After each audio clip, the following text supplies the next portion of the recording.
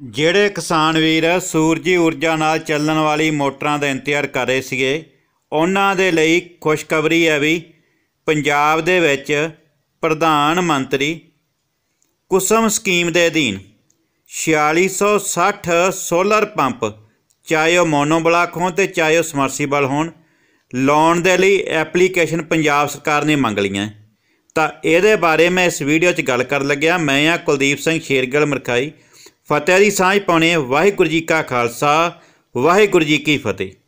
ਤਾਂ ਦੋਸਤੋ, solar pump ਲਾਉਣ ਵਾਸਤੇ ਤਿਆਰ ਹੋ ਜਾਓ ਤੇ ਹਮੇਸ਼ਾ ਦੀ ਤਰ੍ਹਾਂ ਪਹਿਲਾਂ ਆਓ, ਪਹਿਲਾਂ ਪਾਓ ਦੇ ਆਧਾਰ ਤੇ ਇਹ ਤੁਹਾਨੂੰ ਮਿਲਣੀਆਂ ਹੈ।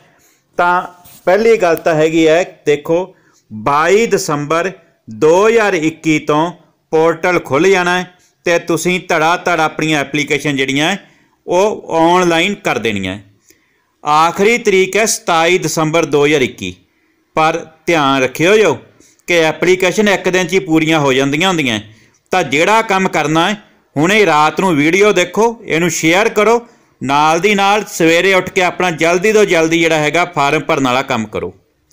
ਤੇ ਸਬਸਿਡੀ ਕਿੰਨੀ ਮਿਲਣੀ ਹੈ ਸਬਸਿਡੀ ਤੋਂ ਪਹਿਲਾਂ ਇਹ ਧਿਆਨ ਰੱਖਿਓ ਕਿ ਜਦੋਂ ਐਪਲੀਕੇਸ਼ਨ ਦਾ ਕੋਟਾ ਪੂਰਾ ਹੋ ਗਿਆ, ਪੋਰਟਲ ਬੰਦ ਹੋ ਜਾਏਗਾ। ਸਬਸਿਡੀ ਆਮ ਸ਼੍ਰੇਣੀ ਵਾਸਤੇ 60% ਹੈ ਤੇ ਅਨੁਸੂਚਿਤ ਜਾਤੀ ਵਾਸਤੇ 80% ਹੈ। ਇੱਕ ਚੀਜ਼ ਹੋਰ ਨੋਟ ਕਰਿਓ, ਇੱਥੇ ਮੈਂ ਪੰਜਾਬ ਦੇ 33 ਬਲਾਕਾਂ ਦੀ ਗੱਲ ਕਰਾਂਗਾ। 33 ਬਲਾਕ ਜਿੱਥੇ ਕਿ ਜਿਹੜੇ ਸੁਰੱਖਿਅਤ ਬਲਾਕ ਹੈ। ਉਹਨਾਂ 33 ਬਲਾਕ ਦੇ ਵਿੱਚ ਤਾਂ ਕੋਈ ਕਿਸਾਨ, ਕਿਸਾਨਾਂ ਦਾ ਗਰੁੱਪ ਜਾਂ ਪੰਚਾਇਤ, ਠੀਕ ਹੈ? ਉਹ ਜਿਹੜੇ ਹੈਗੇ ਆ, ਜੇ ਕਿਸੇ ਵੀ ਪ੍ਰਕਾਰ ਦੀ ਸਿੰਚਾਈ ਦੇ ਲਈ ਡੀਜ਼ਲ ਪੰਪ ਦੀ ਵਰਤੋਂ ਕਰਦੇ ਆ, ਤਾਂ ਉਹ ਅਪਲਾਈ ਕਰ ਸਕਦੇ ਆ। ਉਹ ਡਿੱਗੀਆਂ 'ਚੋਂ ਪਾਣੀ ਚੱਕਣ ਵਾਸਤੇ, ਛੱਪੜ 'ਚੋਂ ਪਾਣੀ ਚੱਕਣ ਵਾਸਤੇ, ਮੱਛੀ ਵਾਲੇ ਤਲਾਬ 'ਚੋਂ ਪਾਣੀ ਚੱਕਣ ਵਾਸਤੇ ਅਪਲਾਈ ਕਰ ਸਕਦੇ ਆ।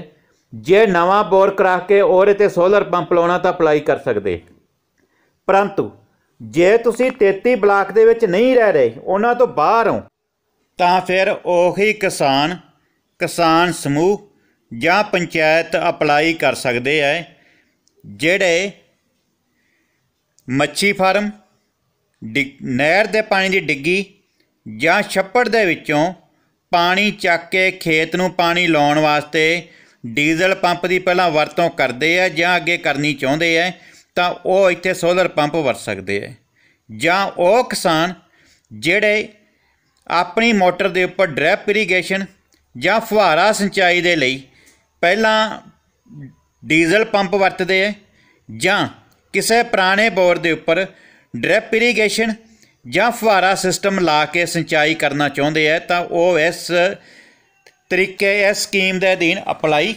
ਕਰ ਸਕਦੇ ਹੈ ਠੀਕ ਹੈ ਤੇ ਭਰਨਾ ਕਿੱਥੇ ਹੈ ਆਹ ਵੈਬਸਾਈਟ ਦਾ ਐਡਰੈਸ ਹੈ www.pmkusum.peda.gov.in ਠੀਕ ਹੈ? 22 ਦਸੰਬਰ 2021 ਤੋਂ ਸ਼ੁਰੂ ਹੈ। ਤਾਂ 33 ਬਲਾਕ ਕਿਹੜੇ ਕਿਹੜੇ ਹੈ? ਬਠਿੰਡਾ ਦੇ ਵਿੱਚ ਸੰਗਤ, ਰਾਮਪੁਰਾ, ਤਲਵੰਡੀ ਸਾਬੋ, ਫਾਜ਼ਿਲਕਾ ਦੇ ਵਿੱਚ ਹਬੋਰ, ਖੁਈਆਂ ਸਰਵਰ ਤੇ ਫਾਜ਼ਿਲਕਾ, ਸ਼੍ਰੀ ਮੁਕਤਸਰ ਸਾਹਿਬ ਦੇ ਵਿੱਚ ਗਿੱਦੜਬਾਹਾ, ਲੰਬੀ, ਮਲੋਟ, ਸ਼੍ਰੀ ਮੁਕਤਸਰ ਸਾਹਿਬ, ਗੁਰਦਾਸਪੁਰ ਦੇ ਵਿੱਚ ਦੁਰਾਂਗਲਾ, ਦੀਨਾਨਗਰ, ਗੁਰਦਾਸਪੁਰ ਕਾਦੀਆਂ ਤੇ ਸ਼੍ਰੀ ਹਰਗੋਬਿੰਦਪੁਰ ਪਠਾਨਕੋਟ ਦੇ ਵਿੱਚ ਧਾਰਕਲਾ, ਪਠਾਨਕੋਟ, ਸੁਜਾਨਪੁਰ, ਬਮਿਆਲ, ਘਰੋਟਾ ਤੇ ਨਰੌਟ ਜੈਮਲ ਸਿੰਘ। ਹੁਸ਼ਿਆਰਪੁਰ ਦੇ ਵਿੱਚ ਭੁੰਗਾ, ਹਾਜੀਪੁਰ, ਤਲਵਾੜਾ, ਹੁਸ਼ਿਆਰਪੁਰ 2 ਮਹਿਲਪੁਰ ਤੇ ਮੁਕੇਰੀਆਂ। ਸ਼ਹੀਦ ਭਗਤ ਸਿੰਘ ਨਗਰ, ਸੜੋਵਾ ਅਤੇ ਬਲਾਚੌਰ, ਰੋਪੜ ਰੋਪੜ, ਸ਼੍ਰੀ ਅਨੰਦਪੁਰ ਸਾਹਿਬ ਅਤੇ ਨੂਰਪੁਰ ਬੇਦੀ ਐਸਏਐਸ ਨਗਰ ਮਹਾਲੀ ਦੇ ਵਿੱਚ ਮਾਜਰੀ ਬਲਾਕ। ਇਹ 33 ਬਲਾਕ ਦੇ ਵਿੱਚ ਜੇ ਕੋਈ ਕਿਸਾਨ ਪਹਿਲਾਂ ਤੋਂ ਡੀਜ਼ਲ ਪੰਪ ਦੀ ਵਰਤੋਂ ਕਰ ਰਿਹਾ ਹੈ, ਤਾਂ ਉੱਥੇ ਸੋਲਰ ਪੰਪ ਲਵਾ ਸਕਦਾ ਹੈ। ਡਿੱਗੀ ਦੇ ਵਿੱਚੋਂ ਪਾਣੀ ਚੱਕਣ ਵਾਸਤੇ, ਛੱਪੜ ਤੋਂ ਪਾਣੀ ਚੱਕਣ ਵਾਸਤੇ ਡੀਜ਼ਲ ਪੰਪ ਦੀ ਵਰਤੋਂ ਕਰਦਾ ਤੇ ਮੋਟਰ ਲਵਾ ਸਕਦਾ ਹੈ। ਜੇ ਕਿਸਾਨ ਕੋਈ ਨਵਾਂ ਬੋਰ ਕਰਕੇ, ਨਵਾਂ ਬੋਰ ਕਰਕੇ ਤਾਂ ਉਹਦੇ ਤੇ ਸੋਲਰ ਪੰਪ ਲਾਉਣਾ ਚਾਹੁੰਦਾ ਤਾਂ ਲੈ ਸਕਦਾ ਹੈ।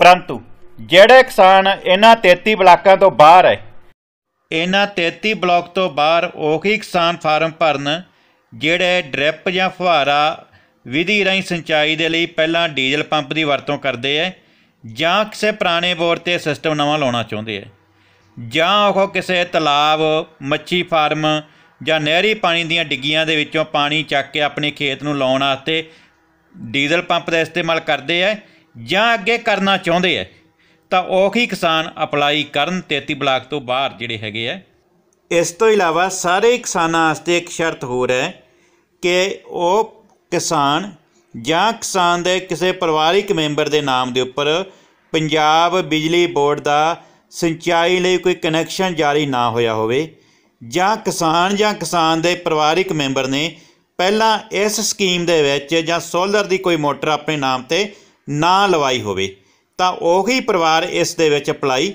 ਕਰ ਸਕਦਾ ਹੈ। ਠੀਕ ਹੈ, ਤਾਂ ਇਹਦੇ ਵਿੱਚ ਇਹ ਦੇਖ ਲਓ ਕਿ 3 5 7.5 ਤੇ 10 ਹਾਰਸ ਪਾਵਰ ਦੀ ਜਿਹੜੀ ਮੋਟਰ ਹੈ, ਉਹ ਲੱਗਣੀ ਹੈ। ਤੇ ਇਹਦੇ ਵਿੱਚ ਜਿਹੜੇ ਕਿਸਾਨ ਨੇ ਪੈਸੇ ਦੇਣੇ ਆ, ਉਹ ਆਪਾਂ ਦੇਖ ਲਈਏ ਕਿ 3 ਹਾਰਸ ਪਾਵਰ ਦੀ ਮੋਨੋ ਬਲਾਕ ਪੰਪ ਦੇ ਲਈ ਆਮ ਸ਼੍ਰੇਣੀ ਦੇ ਕਿਸਾਨ 71421 ਰੁਪਏ ਦੇਣਗੇ। ਅਨੁਸੂਚਿਤ ਜਾਤੀ 35711 ਰੁਪਏ ਦੇਣਗੇ। 5 ਹਾਰਸ ਪਾਵਰ ਦੀ ਮੋਨੋ ਬਲਾਕ ਲਈ ਆਮ ਕਿਸਾਨ 102512 ਰੁਪਏ ਦੇਣਗੇ। ਤੇ ਅਨੁਸੂਚਿਤ ਜਾਤੀ ਵਾਲਾ ਕਿਸਾਨ 51256 ਰੁਪਏ ਦੇਗਾ। ਮਤਲਬ ਕਿ ਉਸ ਤੋਂ ਅੱਧਾ ਰਹਿ ਗਿਆ। ਤੇ ਜੋ 7.5 ਦੀ ਮੋਟਰ ਵਾਸਤੇ ਆਮ ਕਿਸਾਨ 145664 ਦੇਵੇਗਾ। ਅਨੁਸੂਚਿਤ ਜਾਤੀ ਦਾ ਕਿਸਾਨ ਇਸ ਤੋਂ ਵੱਧਾ 72832 ਰੁਪਏ ਜਮ੍ਹਾਂ ਕਰਾਉਣਗੇ। 10 ਹਾਰਸ ਪਾਵਰ ਦੀ ਮੋਨੋ ਬਲਾਕ ਪੰਪ ਲਾਉਣ ਵਾਸਤੇ ਆਮ ਕਿਸਾਨ 244256 ਰੁਪਏ ਜਮ੍ਹਾਂ ਕਰਾਏਗਾ। ਜਦੋਂ ਕਿ ਅਨੁਸੂਚਿਤ ਜਾਤੀ ਦਾ ਕਿਸਾਨ 168424 ਰੁਪਏ ਜਮ੍ਹਾਂ ਕਰਾਏਗਾ।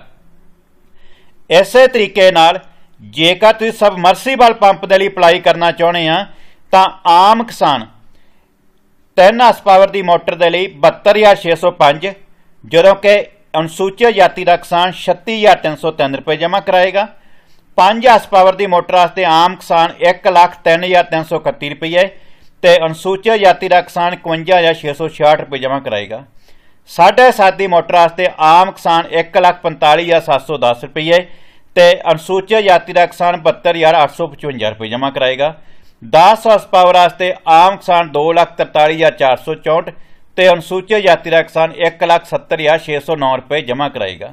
ਵਧੇਰੇ ਜਾਣਕਾਰੀ ਦੇ ਲਈ ਤੁਸੀਂ ਇਹਨਾਂ ਦੀ ਵੈਬਸਾਈਟ ਹੈ www.pmkusum.peda.gov.in ਤੇ ਜਾ ਸਕਦੇ ਹੋ।